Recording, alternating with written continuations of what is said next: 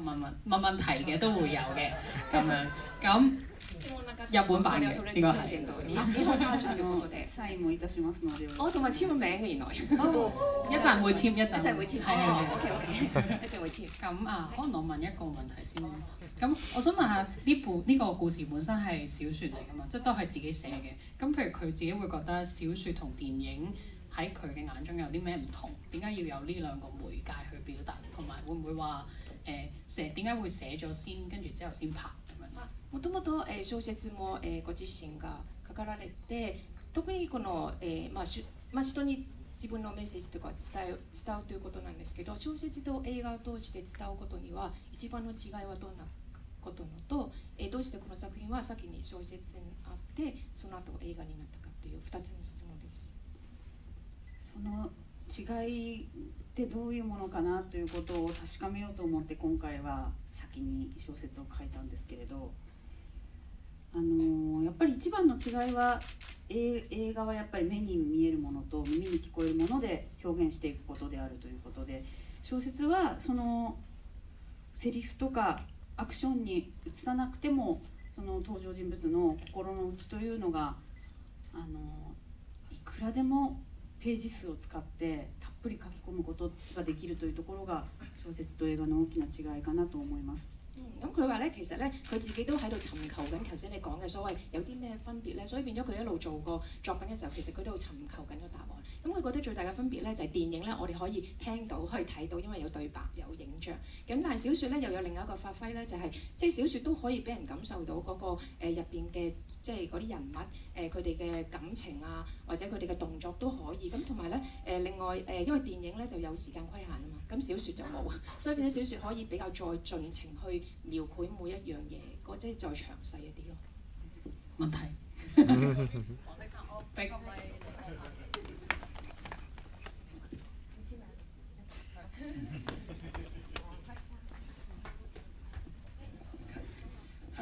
演你好，咁就呢個古仔都幾特別嘅其實。咁都想問翻，即係其實誒嗰呃那個點樣觸發到啊導演想寫呢個故仔咁樣樣唔該晒。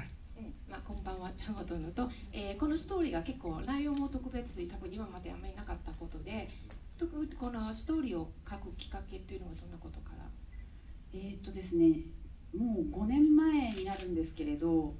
2011年にですね、あの日本の東北地方を中心に東日本大震災という大きな地震がありました。係咁，首先咧就係講翻大概五年前啦。咁其實我哋香港人都知道，日本咧就係有呢個東北嘅即係一個海嘯嘅事件發生啦。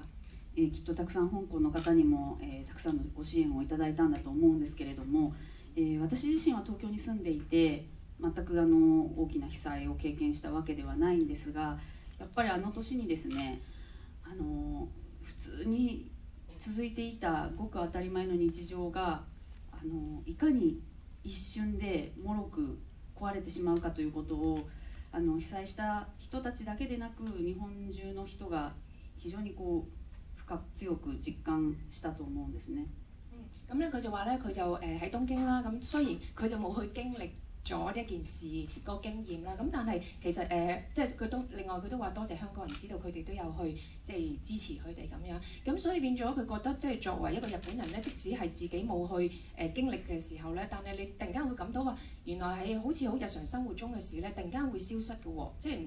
即係個原因係好突然嘅。咁變咗呢一樣嘢，可能即係佢哋身為日本人，其實自己都好痛感呢一件事。あの起きたことがあまりにも 大きくて私自身はですね、えー、震災直後に自分が何かその震災をテーマにものを書いたりすることができるようには思えなかったですしむしろそういったこう大災害が起きた時に、えー、物書きであったりその映画監督であったりする自分が何の役にも立たないのではないかということに結構こう悩んだ時期もあったんですけれども。咁咧佢咧都有一段時間，因為咧件事發生咗之後咧，咁佢即係身為自己係日本人咧，都好想去做一啲嘢。咁但係佢覺得啊，我只係一個寫小説或者我自己一個拍電影嘅人，我究竟可以做啲乜嘢咧？咁當時咧佢都即刻係諗唔到出嚟嘅。あの震災が起きてからもう半年以上経ってからですねその年の暮れぐらいにああのふとですねいろんなドキュメンタリーとか大切な家族を亡くされた方のその報道をたくさん目にした中で、えーこういうそういう表のあのカメラの前に出てこられないところで、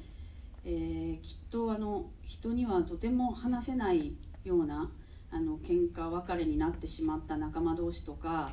あの関係性が冷え切ったカップルだとかそういった関係性も中にはあっただろうなということを想像したんですね。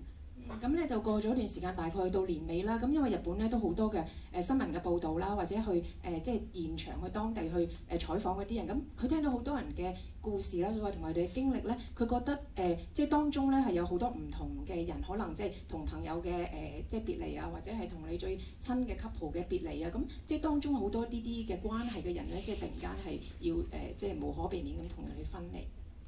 ということからあの、 まあ、震災という点あのモチーフに特化せずに、えー、全ての人にその身近な人との別れというのはいつ何時どういうタイミングで来るかわからないというのは普遍的にあの語られるテーマだと思ったのでその突然の苦い別れ方をした、えー関係性の、えー残された人がですねその後の続いていく人生をどういうふうに歩き直していくかという、えー話を書いてみようとのがきっかけでした。咁所以咧就係、誒、開始就觸發咗佢誒即係寫一個故事啦。咁就係講緊啊，都唔知會喺一啲咩 timing 嗰度，你係會同你誒、親近嘅人啊，誒、唔同關係嘅人咧會有一個別離嘅情況啦。咁所以變咗誒、即係佢自己就即係寫咗呢個嘅故事啦。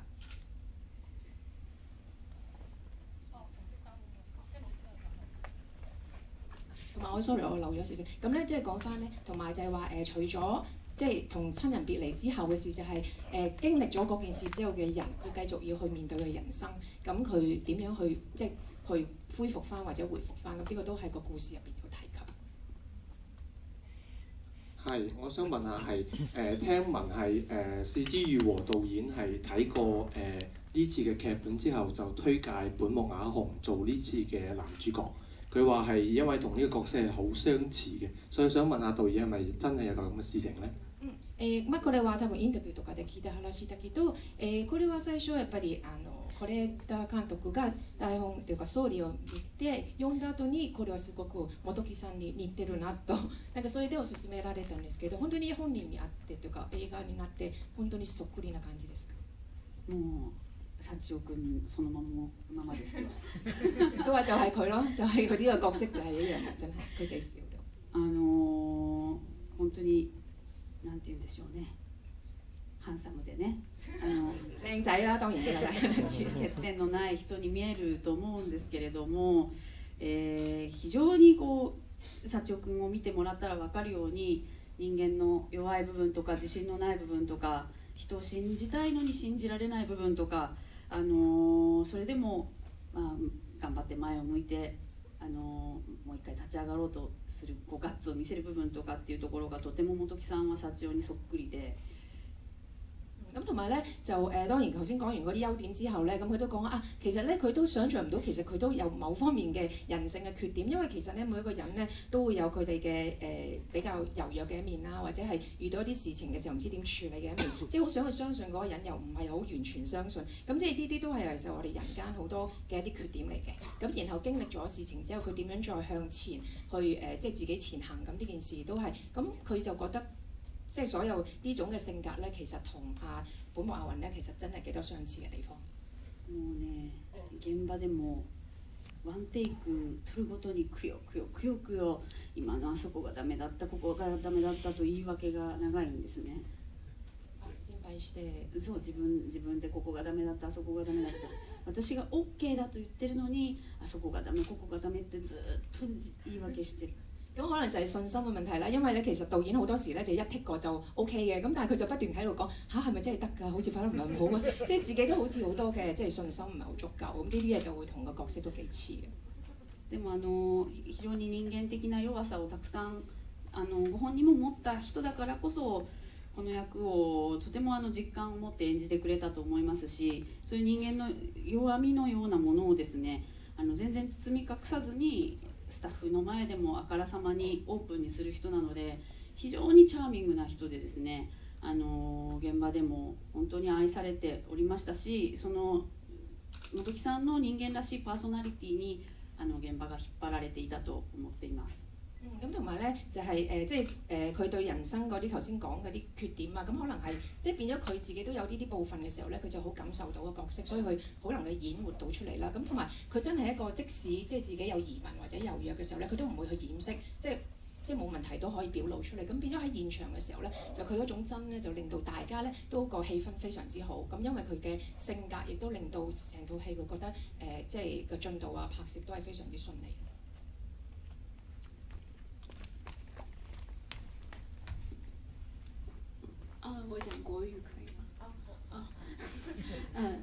导演你好，我很喜欢这个片子，呃，然后呃，里面小孩的部分会让我想起施志玉和导演的一些片子，包括 Nobody Knows，呃，然后呃，我想问，就是因为小孩的部分在这个片子里有很大的比重，然后我想问，就是男主角跟小孩的相遇对他来说其实意味着什么，以及这个部分就是是跟你自己的一个，就是你有跟小孩相处的这种经验经验吗？这个有帮到你在处理这个部分吗？谢谢。是两个问题啦，啊是是吗？你说呃还有一个男主角跟小孩子什麼？再說一次。就男主角跟小孩的相遇對他來說就是意味着什麼？對對個導演嚟講。咪對男主角。啊，男主角，OK，sorry 啊，唔好意思。OK，OK。あ、俺あのちょっと北京語でごめんなさい。あ今とりあえず2つになって質問が割とあの映画の中では子供の部分が本当にすごく大きくて、 とりえ最初は、えーその幸代幸代が子供たちと出会ったことは彼の人生にとってはどんな存在だったのと、えー監督ご自身も、えー普段でも子供と一緒になったそういうチャンスみたいのはありますか？あのーやっぱり私自身もですねあの結婚をしていないし子供を産み育てた経験がないので子供という人たちとですね普段ほとんど接點のない暮らしをしてるんですね。佢話咧可惜咧，因為導演咧自己又未結婚，咁又冇小朋友啦，咁所以咧喺佢自己嘅生活入邊咧，就從來都冇一個即係好直接嘅機會同小朋友去接觸。えー、と私が今年42歳になるんですけれどその中年になっても子育ての経験がないあの生き方をしして自分のその映画を作るっていう自分のやりたいことばかりを追求してきた人生だったんですけれどなんかこう若い頃はそれでいいと思ってたんだけれどあの年を経るごとにですねその社会に対して自分がどういうふうに存在していいかというのがだんだんこう分からなくなるんですね。社会のにいる子どもたちとどのような距離感で接したらいいかっていうことが分からなくなってあのとてもこう人間として未熟だし、えー幼自分自身が幼稚だなという実感をあのが年を経るごとに深くなりまして。うん、困ったなと思ってた時にただなんかその子供がいないまま年を取っていく大人たちもたくさんいますからその子供がいない人間が感じる社会にあのどう存在していいかわからない不安感とかそういう見地から物語を書いてみようというのも今回のあの狙いの一つでした。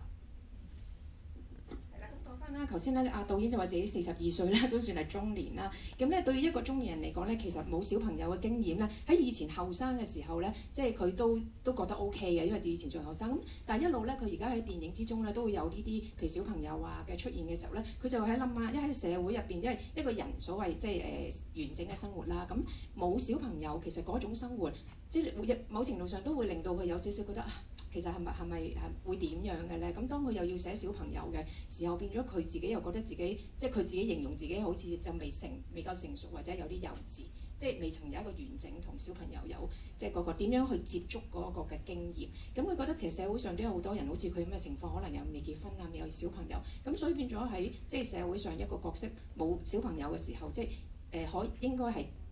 即係點樣去學習，即係同佢哋有個。 即係相處，咁所以變咗喺個故事入邊寫故事嘅時候，某程度上佢都係喺度探討緊或者追求緊呢一樣嘢。あの子どもたちを演出するのもほぼ初めての経験だったんですけれどまあうまくいかないんですよねあの何一つ。もうあかりは本当5歳の女の子で演技経験もない女の子だったのでただそこに立っててっていうだけでもじっとしてないしもう本当に春の頃はまっすぐ歩いてっていうだけでも言うこと聞かない大変なお子様だったんですね。咁咧，佢話咧，其實同朋誒、即係小朋友去演出咧係非常之困難，真係好難。因為佢話好似誒阿劇中嗰位小妹妹啦，佢得五歲啦，咁拍攝嘅時候咧，佢即係好簡單嘅，淨係佢企喺度，咁佢真係企喺度，佢就企到唔喐咁樣，咁咧變咗即係有啲好細節嘅嘢，其實都好難叫佢做緊。咁譬如春天嘅時候嗰陣時，佢又叫佢行啦咁樣，即係就算叫佢行嘅動作，有時佢都未必即刻理解到，咁所以喺拍攝上其實真係好困難同小朋友合作。ですからあの大人の俳優たちというのがいかにあの私たちの言うことをねあのよく聞いてくれるのかということも初めて分かったしあの逆に子どもたちとその、うん、本当にシンプルなことでもうまくいかないという経験を繰り返すことであのこっちも随分鍛えられて、えー逆にあの自分は今までこう大人らしく現場でこう監督らしく振る舞ってきたけれどもいかに自分が力ない存在だったかというのも彼らとあの接触することで私もだんだん学んでいった部分もありますし、まあ、子どもと大人が接触するというのはあのある意味大人が自分の力のなさとか無力無力さというものを再確認させられてそしてあの大人にしてもらうということなのかなとも思います。なのであの幸代君が子どもたちと出会ったことは彼がこう自分のこう幼稚さだとか未熟さだとかっていうものをもう一度再確認して、えー本当にあのほんのちょっぴりですけれど少しだけ大人にさせてもらうプロセスだったのかなというふうに私は理解しています。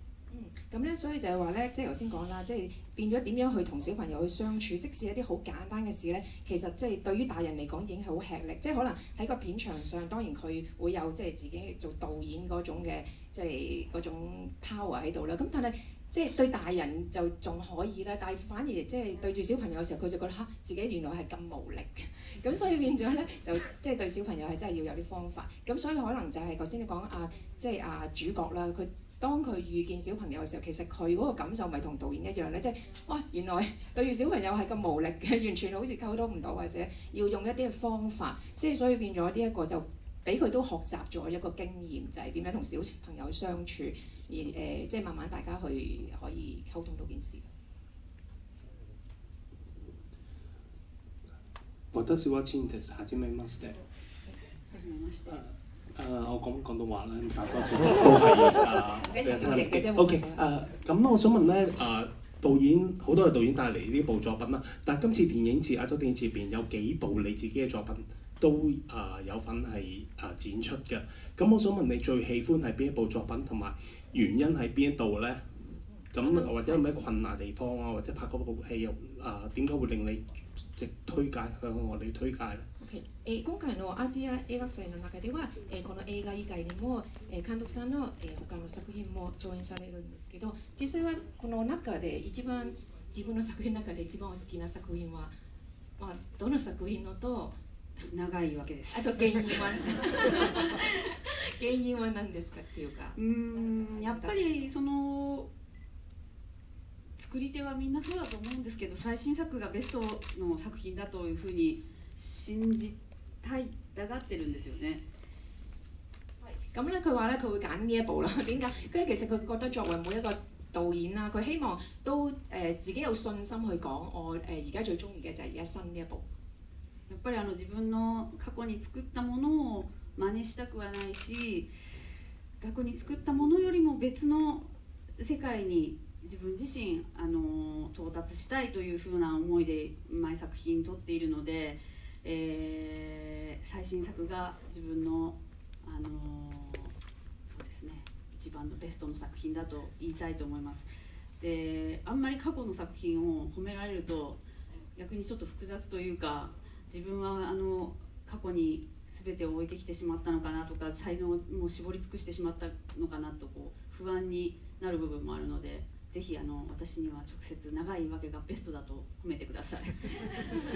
佢話咧點解咧唔係過去嘅咧？因為覺得咧佢都唔想去再即係好似誒、呃即係誒誒拍翻好似以前嘅嘢。佢希望每一個人都希望可以到達另一個世界，即係另一個進步啦所謂。咁所以佢好希望自己可以講到呢一步就係我自己最好嘅，因為佢覺得誒、呃如果啲人猛咁只係讚佢舊嘅作品，咁即係話佢仍然會停留喺舊嗰個階段咯。咁所以變咗誒、呃都希望大家都會認同最好嘅作品，即係最新嘅作品就係最好嘅。多謝晒大家啦，亦都多謝。 一陣會再見啦。咁另外我哋會有問卷嘅，咁所以就麻煩大家可以填。誒また、えもう一本の映画で多分お会いできると思うんで、はい、ありがとうございます。あのなんですかね、すごく温かい拍手で迎えられて、とてもあのほっとしています。佢話咧，大家咧頭先咁熱情嘅拍手咧，令到佢安心啊！即係可能係今日係第一次，第一次出現。咁不如再熱烈啲，同觀眾影張相。今日就寫真を記念写真をあ、はい撮りましょう。ありがとうございます。